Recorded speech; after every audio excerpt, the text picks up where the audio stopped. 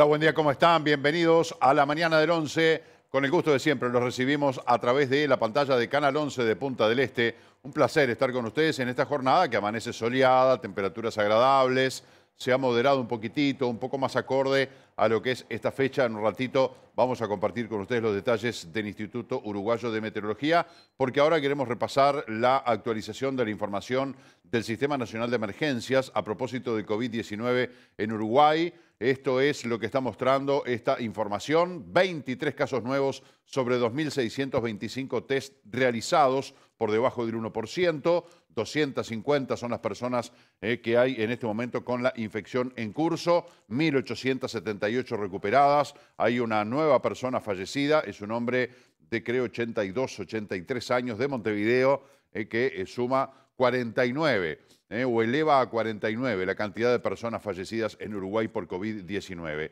Hay dos personas que permanecen en CTI, una persona que está en cuidados intermedios y tenemos 21 casos activos en personal de la salud.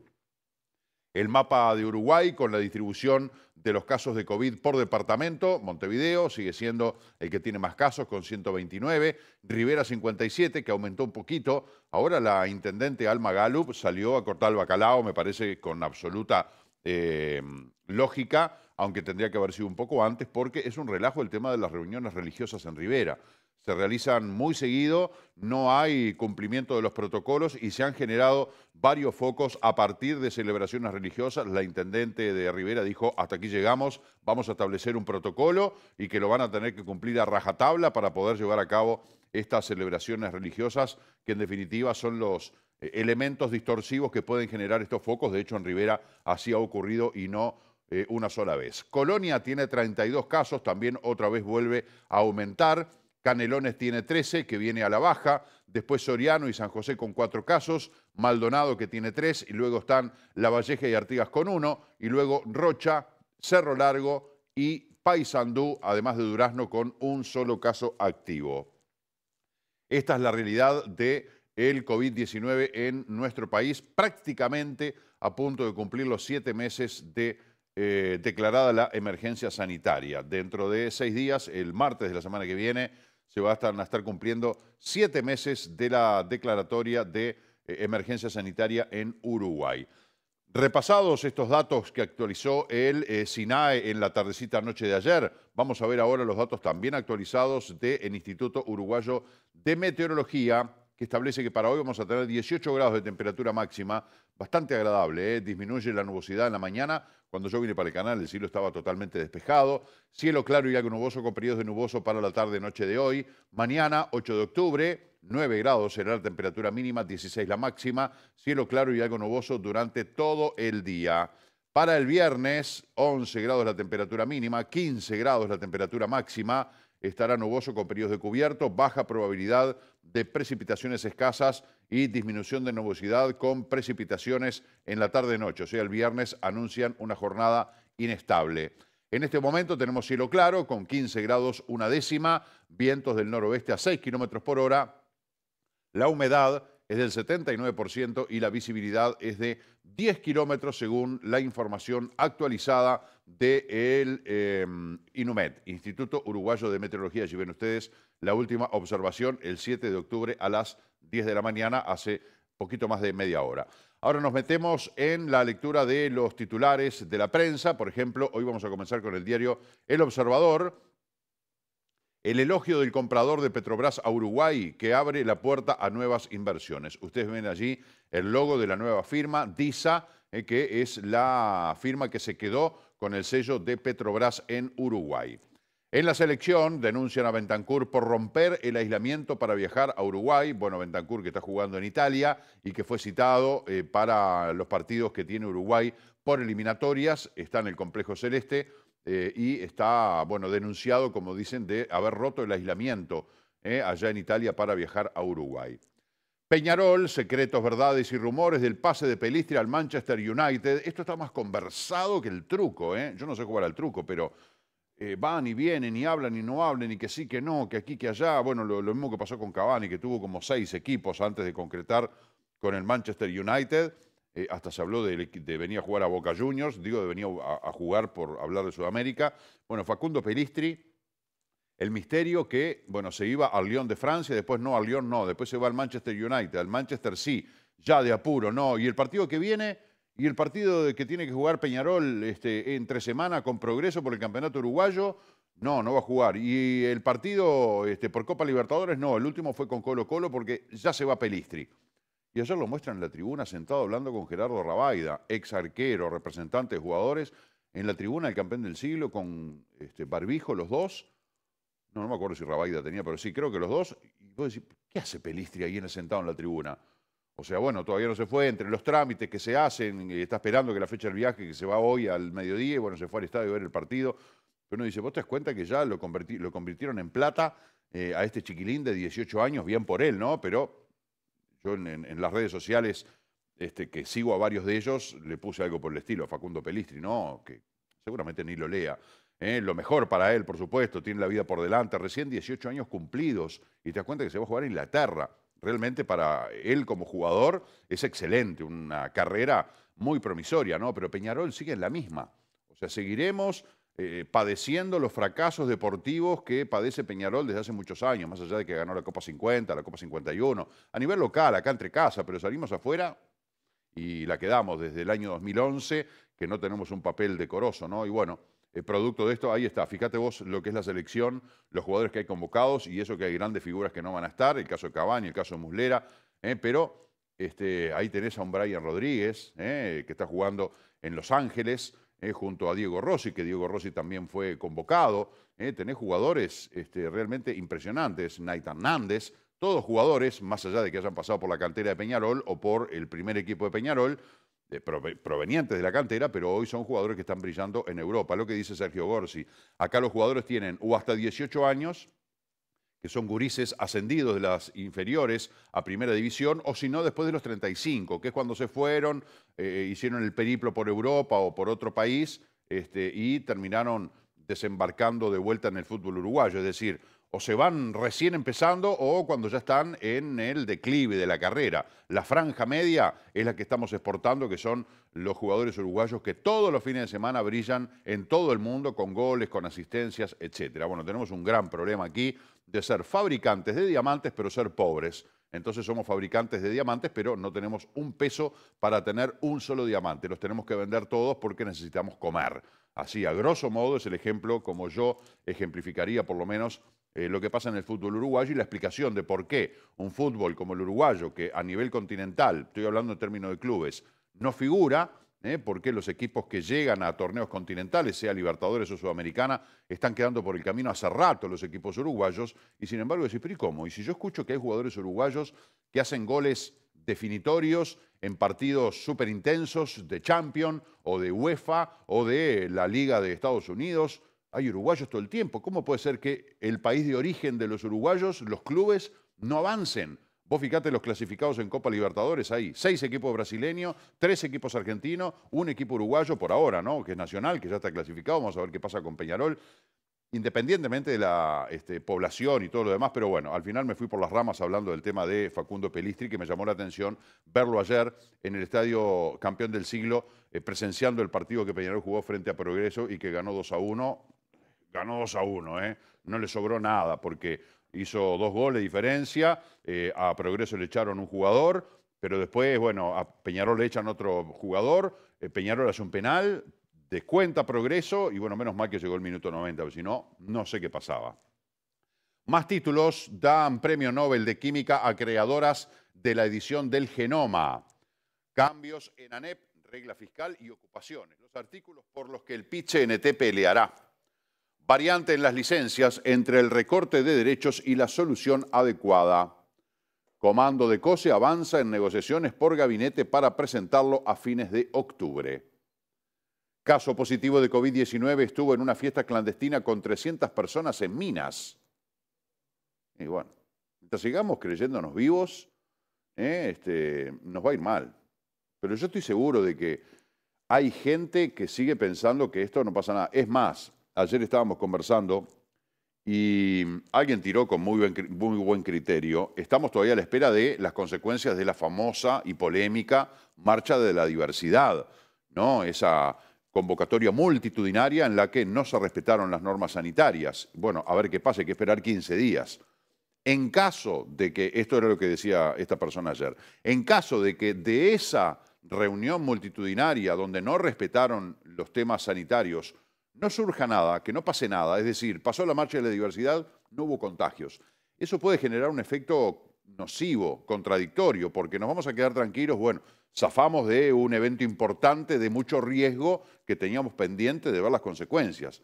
No tenemos consecuencias. Ah, bueno, pero si se reunieron 150.000 personas el otro día en esa marcha, no estoy diciendo una cifra, se reunieron 40.000 personas el otro día en esa marcha y no pasó nada. Si nos reunimos 15 en casa como un asado, 20, no pasa nada. Entonces se van a replicar mini aglomeraciones en distintos lados porque si en semejante concentración, pues la verdad que las imágenes meten miedo, en semejante concentración no pasó nada y había muchos que no usaban tapabocas y andaban a los besos y a los abrazos, o sea, hicieron todo lo que no se puede hacer, todo lo que no está recomendado, todo lo contrario a lo que recomiendan las autoridades sanitarias, se hicieron todas esas cosas en esa marcha. Y si no tiene consecuencias, ya con el descrédito que tienen algunos, que son los que andan sin tapaboca por la calle, que no guardan la distancia física, etcétera, mucho más descreídos van a estar y mucho menos respetuosos van a ser.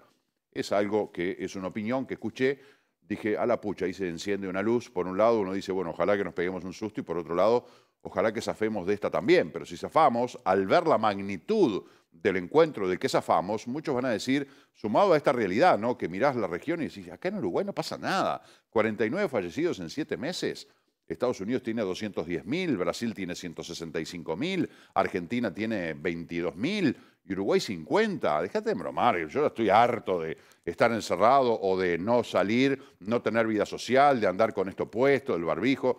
Entonces como que aflajamos la cincha porque es como que, ah, no es tan grave.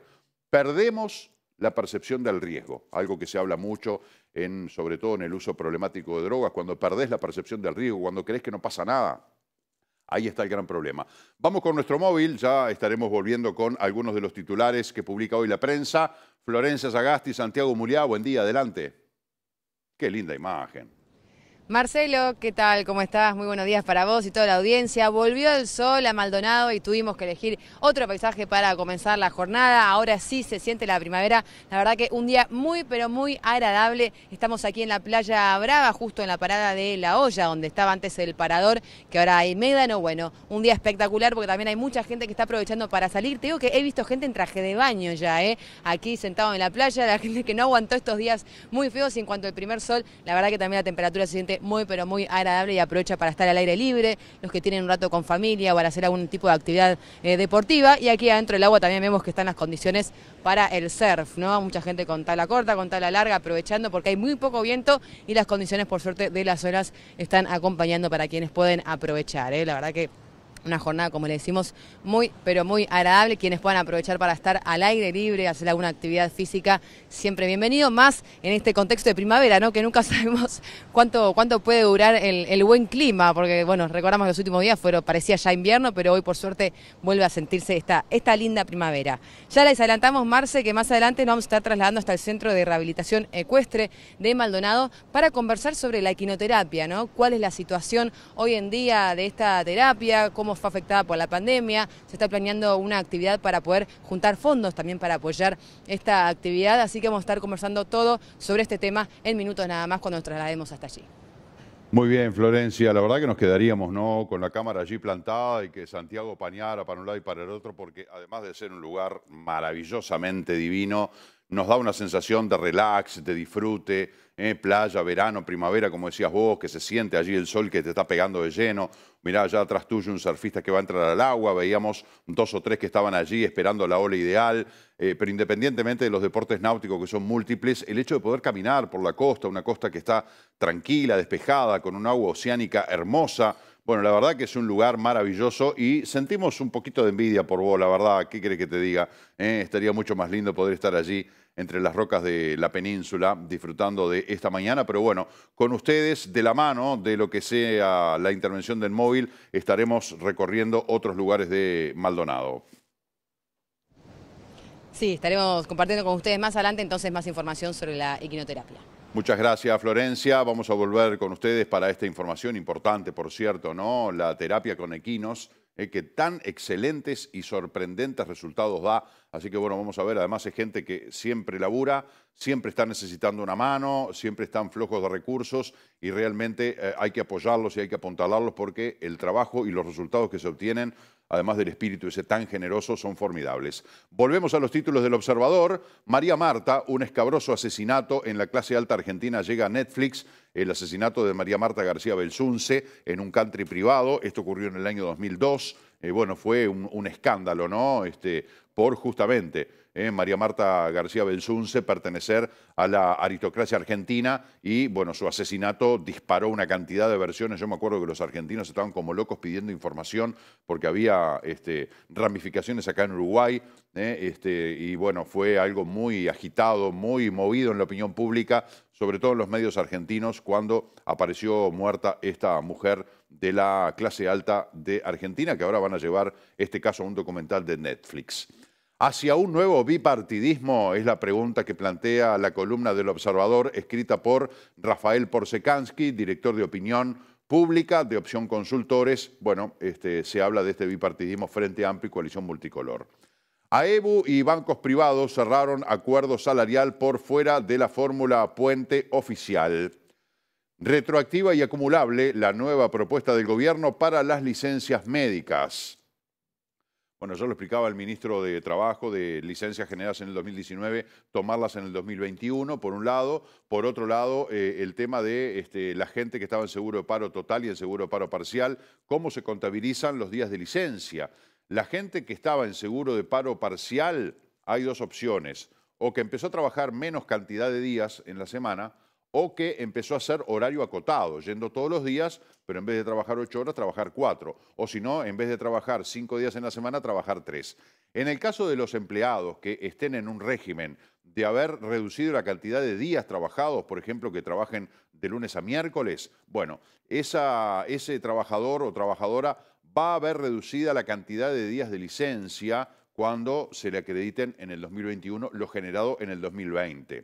En el caso de los trabajadores que en vez de trabajar ocho horas trabajan cuatro, pero que trabajan todos los días, no se va a alterar la cantidad de días de licencia. Eh, esos trabajadores y trabajadoras van a tener la misma cantidad de días de licencia. Lo único que van a percibir menos dinero porque el cómputo da que percibieron menos plata. Así que aquellas personas que han estado en régimen de seguro de paro parcial con reducción horaria no verán afectados los días de licencia, sí el monto que percibirán por salario vacacional, mientras que eh, los trabajadores que han estado en un régimen de reducir la cantidad de días trabajados van a ver reducidos la cantidad de días de licencia que se les van a acreditar para el año 2021, algo que bueno, el gobierno trata de eh, em, eliminar dudas eh, este, y, e incertidumbres que había en la clase trabajadora por este tema de las licencias. Otros titulares, vacaciones gratis en Uruguay tras disfrutar de, bueno, una rica cerveza. Apelarán a capacidad de persuasión de líderes religiosos para evitar contagios. Habrá una reunión eh, eh, hoy para evaluar los protocolos y lograr que se cumplan durante los eventos. Claro, todo eso, viste, capacidad de persuasión lo ponen entre comillas porque los líderes religiosos, viste, que eh, se ponen a hablar y bueno, convencen a cualquiera de que hagan lo que quieran, ¿no? Le piden que se paren de cabeza este, a cantar eh, el himno y bueno, y lo hacen, porque convencen, tienen un poder de convencer, de persuadir a las masas. Bueno, las autoridades van a apelar, che, vos que convences tanto, decirles que no se junten, que usen tapaboca, que mantengan la distancia física eh, para evitar los contagios. COSE y Dicandia afinan transición con diálogo directo por UAM y Ferrocarril Central. El intendente y la jefa comunal electa tendrán su primer encuentro oficial este viernes. UAM es la unidad agroalimentaria metropolitana que estuvo en el ojo de la tormenta en campaña porque la Intendencia de Montevideo es quien tiene la gobernanza sobre la UAM. Eh, ahora se em, proyecta que sea, habían dicho que iba a pasar a la órbita del Ministerio de Ganadería, Agricultura y Pesca, lo cual generó el alzamiento de muchas voces y finalmente buscar una solución salomónica que es la cogobernanza, es decir, que la Intendencia de Montevideo y el Ministerio de Ganadería, Agricultura y Pesca, las dos eh, entidades, llamémosle así, van a tener potestad sobre la UAM. Y el tema del ferrocarril central, ayer este, yo estaba viendo un amplio informe en, Telenoche de la periodista Viviana Ruggiero, eh, la verdad que es una barbaridad, ¿no? Lo del ferrocarril central, el costo se disparó exponencialmente todo. Se han atrasado las obras, eh, están demoradas, producto de la pandemia y producto de esas dificultades que se han encontrado en el camino que no fueron detectadas al principio, como por ejemplo las expropiaciones que había que hacer por el trazado del ferrocarril central de la vía eran 256. Hoy están en 1004, decía el ministro de Transporte. Hay un montón que ya las hicieron, hay una cantidad de esos predios que son clave, hay algunos que pueden esperar, pero otros, 80, 90, 100, 120 de esos predios son clave para que continúe avanzando la obra, o sea que hay que expropiarlos. Ahí hablamos de un costo muy superior eh, a lo que eh, se había pensado que andaba en el eje de los 20 a 25 millones de dólares que se precisarían para expropiar los terrenos que habían detectado en el trazado de la vía. Resulta que son cuatro veces más la cantidad de terrenos que eh, se deben expropiar, la cifra se va a ir mucho más arriba. Y también dificultades del suelo, lo explicaba ayer el ministro Heber, se encontraron que el trazado de la vía iba por suelos que no son aptos para el soporte de semejante peso y para el compactado de la tierra. O sea que ahí hay que sacar ese suelo, te imaginas, ¿no? Hay que excavar el suelo que hay en esa parte del Uruguay, poner otro suelo que sirva para meterle una vía arriba. Bueno, eso es tiempo, es dinero, una barbaridad, ¿no? Las complicaciones del ferrocarril central, ¿eh? que, bueno, veremos en qué concluye todo esto ¿eh? a costilla de nuestro bolsillo de invertir y de pagar, porque la obra la tiene que pagar el gobierno uruguayo para que después su PM evalúe eh, qué es lo que va a hacer pero en definitiva ya hay este, muchos cambios visibles, ¿eh? cambios en el paisaje notorios respecto a eh, lo que significa la construcción del ferrocarril central. Otro titular, polémica en el Ministerio de Salud Pública, presentaron renuncia 10 integrantes de la Comisión Nacional de Ética en la investigación. Los profesionales dieron un paso al costado luego de que el ministerio autorizara un experimento vinculado al COVID-19 sin pedirle aprobación a la Comisión Nacional de Ética en la investigación, como lo estipula la norma vigente. Más titulares, la calle Pou llamó a instructor de investigación sobre toma para respaldarlo. El presidente ratificó la confianza al subdirector de la Oficina Nacional del Servicio Civil, Ariel Sánchez, luego de que se difundiera que le pidió un favor a Toma en 2009. El otro día comentábamos esto, de que, bueno, eh, Ariel Sánchez, hoy subdirector de la eh, Oficina Nacional del Servicio Civil, en el 2009 le pidió un favor a Toma que intercediera por una situación personal de su hijo, eh, por lo cual, digamos, como se dice vulgarmente, eh, eh, Sánchez le debía un favor a Toma. Ahora Sánchez es quien instruye la investigación que se está llevando adelante sobre Toma respecto a su tarea como secretario de Presidencia de la República en aquellos viajes 5 o 6 que hizo a Europa. Bueno, la suspicacia de decir, mm, el que está instruyendo el sumario de Toma es alguien a que Toma le hizo un favor y no será favor con favor se paga. Bueno, se generaron esos rumores, el presidente de la República salió a cortar el bacalao a decir que se había enterado de, todo lo que había salido en la prensa, pero que él ya le había dado el respaldo a eh, Ariel Sánchez y además volvió a llamarlo y a darle todo su apoyo eh, de este, bueno, lo que significa la instrucción de esta investigación. Otro título, bueno, lo de nuevo fallecido por coronavirus, este señor de 82 años de Montevideo, Fiscalía archivará la investigación por la amenaza de muerte que recibió Gabriel Pereira. La decisión fiscal de la decisión del fiscal Rodrigo Morosoli, que cuenta con el consenso del periodista de BTV y Radio Sarandí, puede ser revisada en el caso de que surjan nuevos elementos. El PICNT juntará firmas para promover referéndum que derogue la ley de urgente consideración. La moción, que fue presentada por FANCAP, que es el sindicato de ANCAP, contó con la aprobación de 37 votos en la mesa representativa del PIT-CNT. Ayer el presidente de la República fue consultado por este tema y dijo, tienen todo el derecho de manifestarse, lisa o sea, eh, una respuesta salomónica que, este, bueno, de alguna manera zafa del tema y bueno, y además es verdad, o sea, el PIT-CNT quiere juntar firma, lo puede hacer, estamos en democracia, ¿eh? cualquier persona, organización se puede manifestar ¿eh? de manera organizada, de manera respetuosa y eh, decir con lo que este, no está de acuerdo, lo que le parece mal o qué es lo que reclama. Bueno, de eso se trata una democracia. ¿no? Ahora, la recolección de firmas para promover este referéndum, creo que necesitan unas 700.000 firmas, si no recuerdo mal la cifra que leí, como para poder habilitar la figura del referéndum eh, para consultar sobre la derogación, no sé si total o parcial, de la ley de urgente consideración. Nos vamos ahora al diario La República. PIT-CNT se encamina a un referéndum contra la LUC. En la presente jornada, la Central Sindical resolvió implementar la convocatoria a una Comisión Nacional Pro Referéndum con distintas organizaciones sociales y políticas, así como también con instituciones y personalidades eh, que de forma amplia encabece la eh, movida esta contra la LUC. La calle Pou acompaña los cambios en el presupuesto y dijo que el PIT-CNT, lo que decíamos recién, tiene derecho a impugnar la LUC. Gobierno integra comisión de 15 expertos para analizar reforma a la seguridad social. Autocrítica, documento del Frente Amplio señala que a la sociedad se la escuchó mal en reiteradas oportunidades. A su vez, eh, se cuestiona por el manejo interno sobre episodios en los que la ética de un compañero está en discusión. Esto en referencia al caso de Raúl Sendic, está claro, eh, que terminó renunciando a la vicepresidencia de la República por el mega escándalo de ANCAP. Eh, este, y bueno, todos aquellos dichos de Raúl Sendic que terminó en realidad se tuvo que tragar los sapos y las culebras porque aquello que dijo, lamentablemente, quedó demostrado de que no era así, ¿no? Lo de si es de izquierda no es corrupto y si es corrupto no es de izquierda, cuando surgió el tema de las convocatorias al juzgado y lo que terminó siendo su renuncia, bueno, por ahí aparecía esa frase, como suele pasar, ¿no? Este, que cuando hay algo contradictorio a lo que se dijo, bueno, se recuerda que esa frase, ¿te acordás lo que dijiste? Bueno, mirá lo que es la realidad. Bueno, en este caso es una de las frases que más resonó, pero el caso de Raúl Sendic en esta autocrítica que está haciendo el Frente Amplio tiene un peso gravitante.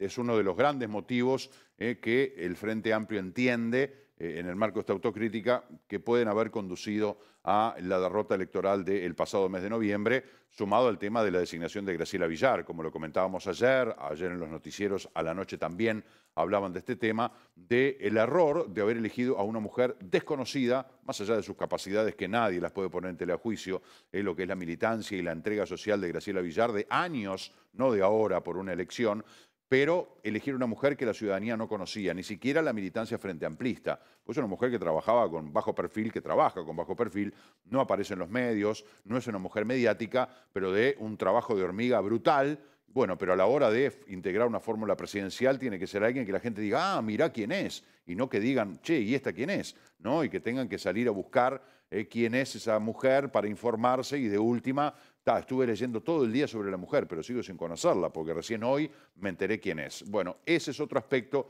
que en el marco de esta autocrítica que hace el Frente Amplio, también se ha mencionado como sustancial la designación de la compañera de fórmula de Daniel Martínez para la elección nacional. Bueno, en el marco de esta autocrítica está muy bueno hacer autocrítica, ¿eh? Este, no, no, hay que ser soberbio y decir, no, yo no me equivoqué, se equivocó el otro, o bueno, sí, yo me equivoqué, pero no importa, ya lo haré mejor. Está bueno hacer una autocrítica, habida cuenta además de otro revés, de alguna manera, aunque sea eh, de menor entidad, que recibió el Frente Amplio el pasado 27 de septiembre, eh, perdiendo algunas intendencias que tenía y quedándose hoy solamente con tres. ¿Eh? la Intendencia de Salto, la de Canelones y la de Montevideo, perdiendo ediles en las juntas departamentales, perdiendo eh, alcaldías también. Bueno, el Frente Amplio dijo, bueno, vamos a parar un poquito, vamos a analizar qué nos está pasando, porque obviamente hay que reacomodarse y reformularse, porque esto sigue, porque son oposición, porque tienen que llevar adelante la oposición a nivel eh, nacional y también oposición en los departamentos,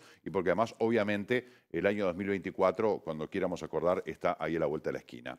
Eh, tenemos que irnos a la pausa. Encapuchados asesinaron a un hombre en Manga.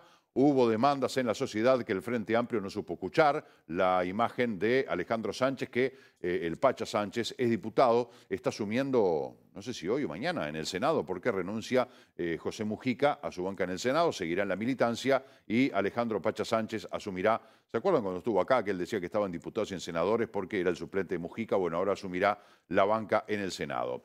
Salida para Araguán, buscan un acuerdo para que se comparta la gobernanza entre la Intendencia y el Ministerio de Ganadería, Agricultura y Pesca. El diario Clarín dice cadena en la ONU, condena, perdón, en la ONU. Alberto Fernández quiere explicarle su posición a Maduro en un llamado telefónico. Interna por Venezuela, Alicia Castro renunció a ser embajadora, no estoy de acuerdo con la política exterior.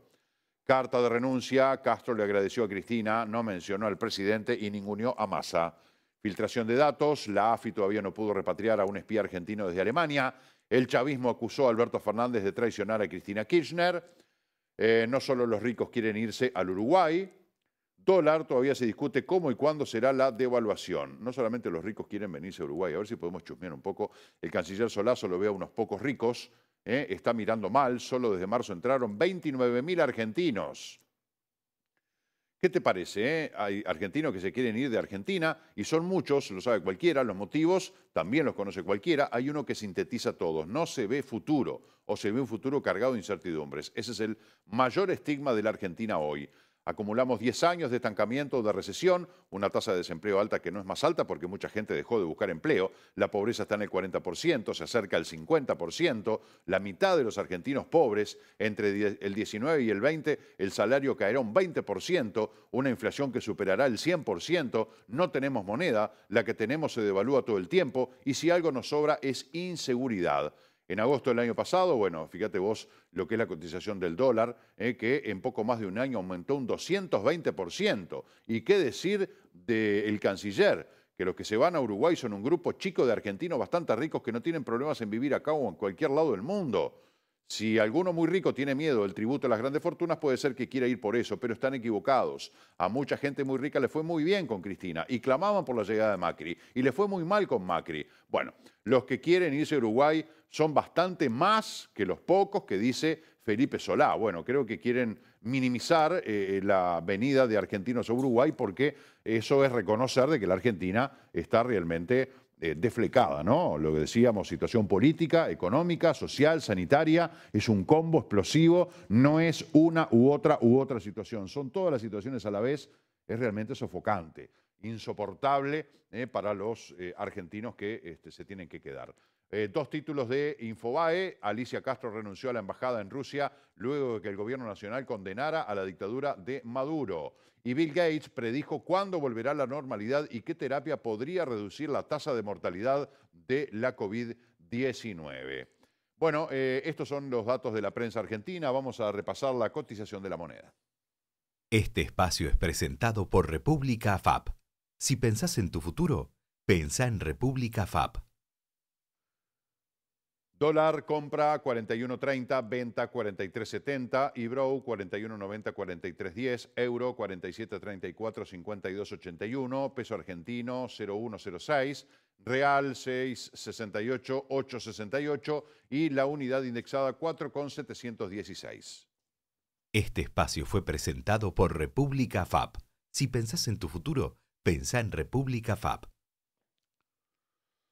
Hoy vamos a estar recibiendo aquí al doctor Mateo Fabra. Continuaremos analizando la ley de urgente consideración y los cambios que se han hecho para tratar de comprender ¿no? y no sentir solamente hablar de la ley de urgente consideración, que tiene, que no tiene, que se votó, que se modificó. Bueno, tratar de desmenuzar y de comprender en lenguaje llano y claro, como habla el doctor Fabra, eh, lo que es esta importante ley que mucha polémica ha generado y que tantas cosas va a marcar en lo que es la vida de los uruguayos. Momento de la moda, estará la señora Alejandra Piedra Cueva, hoy hablando de Kenzo, ¿no? Este diseñador que falleció el otro día, es un diseñador y además un autor de perfumes espectaculares. Yo en lo personal amo los perfumes Kenzo. Bueno, Alejandra Piedra Cueva nos va a traer novedades vinculadas a la moda y a este fabuloso diseñador japonés. Y por otro lado, vamos a tener el altísimo honor de tener, lamentablemente no va a ser presencial, va a ser vía Zoom por cuestiones de tiempo, distancia y de este, bueno, cuidar a la persona. Estaremos comunicados con la